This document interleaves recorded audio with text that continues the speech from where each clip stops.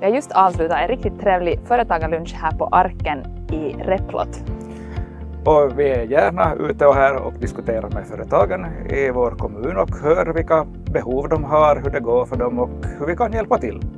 Och nu ska vi få träffa lite företag runt om i kommunen, så häng med!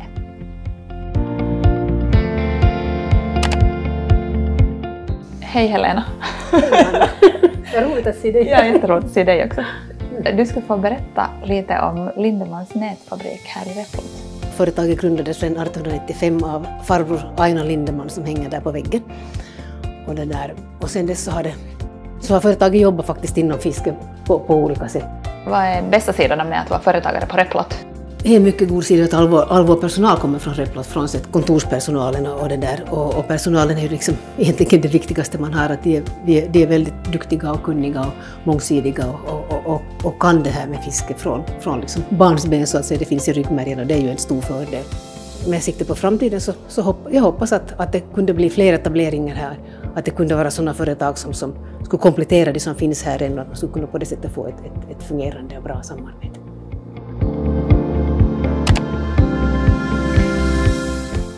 Här så bygger vi ett eh, utrymme för företag på Fågelberget.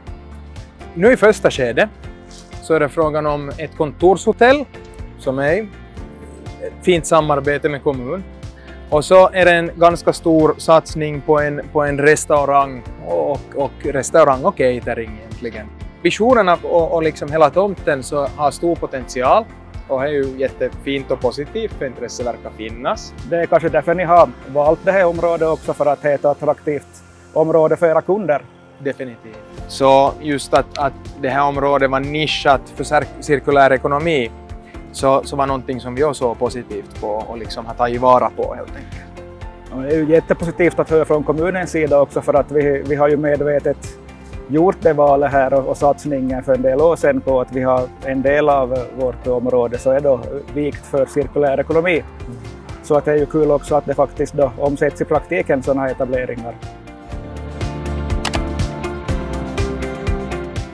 Nu står vi på Vikby Företagscenter som ligger 10 kilometer utanför Vasa.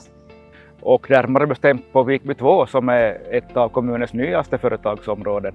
Och eh, här har vi fått många nya etableringar de senaste åren och ett område som ligger väldigt bra till för företag som eh, har behov av transporter i sin verksamhet. Det ligger en korsning mellan eh, två riksvägar nära flygfältet och också goda kommunikationer till hamnen. Det här är ett område som då vi från kommunens sida kommer att satsa på också i framtiden. Vi är stolta och glada över att det finns en så stark företagaranda och framtidstro i Korsholms kommun. Tack för att ni har följt med oss på den här rundturen genom några av Korsholms kommuns företagsområden.